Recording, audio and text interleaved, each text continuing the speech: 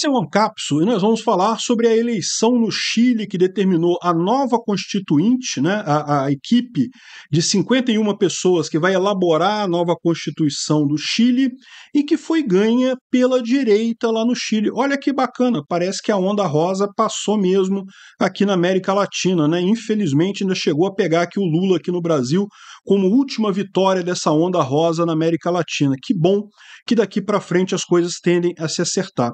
Vamos entender o que está acontecendo aqui, lembrar desse processo da Constituinte no Chile e por que isso é uma boa notícia, principalmente para os chilenos. Né? Essa notícia foi sugerida por Lion Man, Uma Dádiva dos Ninjas, Peter, por que você não escolhe minha pauta e várias outras pessoas. Obrigado aí ao pessoal que sugeriu a notícia, obrigado a você que está assistindo o nosso vídeo. Se você gosta do nosso conteúdo, por favor, deixe o seu like e se inscreva aqui no canal. Né? Pois bem, na Folha de São Paulo, vocês sabem, eles estão tão à esquerda que quando alguém do, da centro-direita ganha uma eleição, é ultra-direita, naso, fascista, chilena, não sei o que lá, ultra, super, plus, radical, direita e coisa e tal, Estão né? chamando aqui de ultra-direita no Chile. Não, é a direita no Chile. Tá? A direita no Chile ganhou a eleição para constituinte, mas ganhou com uma lavada, meu, uma lavada. Lembra esse processo da Constituinte? Lá em 2019 teve grandes protestos no Chile, vocês lembram disso, né? Os estudantes juntaram numa praça lá, quebraram a coisa toda, coisa e tal, e foi justamente o momento em que a esquerda ressurgiu lá, acabou elegendo o Boric como é, é, presidente do Chile, um presidente de esquerda, o primeiro em muito tempo, desde aquela mulher lá que eu esqueci o nome dela, que eu não quero lembrar também não, porque foda-se é de esquerda, e uh, o que aconteceu logo em seguida? Eles quiseram também uma constituinte, fazer uma nova constituição para o Chile. E naquela época elegeram uma constituinte, né, o grupo que vai elaborar a constituinte, que era, é, em sua maioria, pessoal da esquerda. E, cara, publicaram, colocaram uma constituição que era extremamente esquerdista, é, é, voltava atrás em vários dos princípios bons que o Pinochet fez na Constituição da época deles do Chile. Olha só, eu não estou defendendo o Pinochet. O Pinochet foi um agressor, um ditador terrível, mas ele estava bem assessorado economicamente. As decisões que ele tomou em termos econômicos no Chile foram excelentes, e a prova disso é que o Chile, com a Constituição deles, lá da época do Pinochet, foi o único país aqui da América Latina que emergiu e que já era visto como um país desenvolvido no mundo. Né? O resto da América Latina é todo mundo emergente, né? os eternos emergentes que não emergem nunca. Né?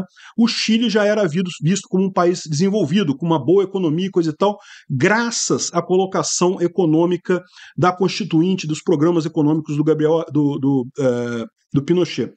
E depois, depois do fim da ditadura militar lá no Chile, que foi terrível, não estou defendendo o Pinochet, é, é, eu, inclusive reclamo muito quando tem um pessoal aí libertário que gosta de fazer piadinha com Pinochet, de jogar esquerdista de helicóptero e coisa e tal. Gente, são pessoas isso, tá? Isso foi um absurdo que aconteceu no Chile. De fato, pessoas morreram nessa condição e eu, de fato, não gosto de esquerdistas, mas eu acho que a gente tem que discutir essas coisas, é, discutir as ideias, jamais jogar as pessoas de helicóptero. Isso não, não faz sentido nenhum, né? Mas, de novo, o que eu quero dizer aqui, o meu ponto é a parte econômica o Pinochet resolveu lá no Chile, e resolveu muito bem. Tanto que mesmo os governos esquerdistas que vieram depois da, uh, do fim da ditadura militar por lá, não voltaram atrás nessa parte econômica. Lá no Chile, os, os, ditadores militares eram de direita. Ao contrário do Brasil. Do Brasil eram de centro-esquerda. A ditadura militar brasileira foi centro-esquerda, foi totalmente desenvolvimentista. Ciro Gomes, foi tipo Lula. Você pegar a política econômica da época dos militares, a política econômica do governo Lula e Dilma, é igualzinha, é a mesma coisa, não mudou nada. É exatamente a mesma. Até o, os, os, apoiadores, o Delfim Neto, são as mesmas figuras. Né? Esquece esse papo de militar brasileiro de direita, que eu não sei onde é que o pessoal tirou isso, não.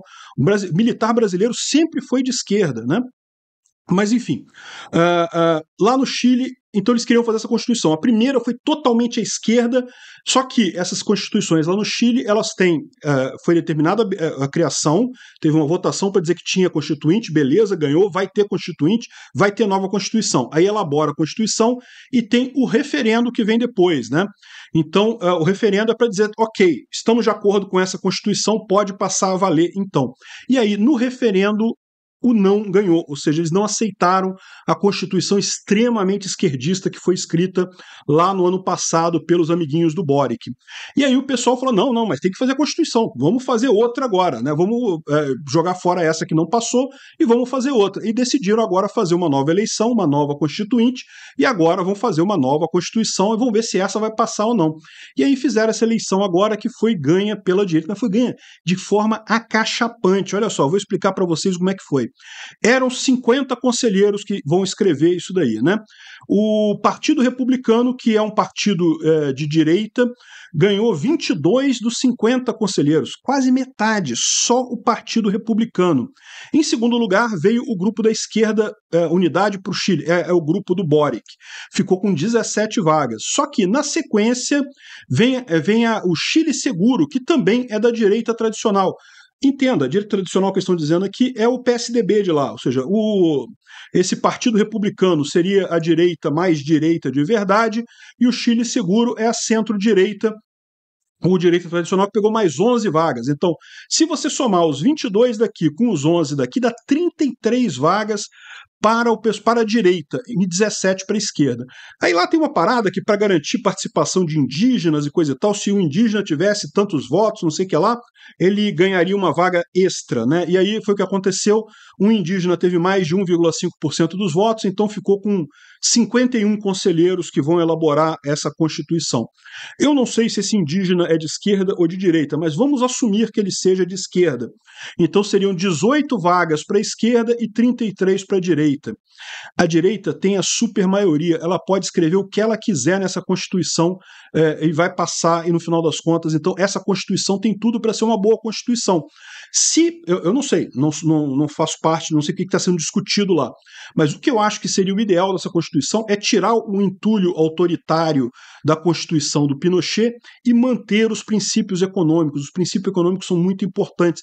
Foi isso que tornou o Chile um país desenvolvido. Eu espero que os chilenos tenham essa cabeça no lugar de fazer exatamente isso uh, nessa nova Constituição. Seria realmente uma boa oportunidade. Joga fora o entulho autoritário, aquele negócio lá do Pinochet, de Estado ter direito de fazer isso, fazer aquilo, coisa e tal, mas mantém o direcionamento econômico, mantém o sistema de aposentadoria lá, que ao contrário do resto da América Latina, eles conseguiram fazer uma aposentadoria que não é um esquema Ponzi, que não é um esquema de pirâmide. Aqui no Brasil, e na América Latina como um todo, em algum momento vai quebrar. É, não é dúvida se vai quebrar o INSS ou não. Em algum momento vai quebrar. A gente não sabe quando. Pode ser que não seja agora, pode ser que não seja na nossa geração, pode ser que não seja na geração dos nossos filhos. Em algum momento vai quebrar.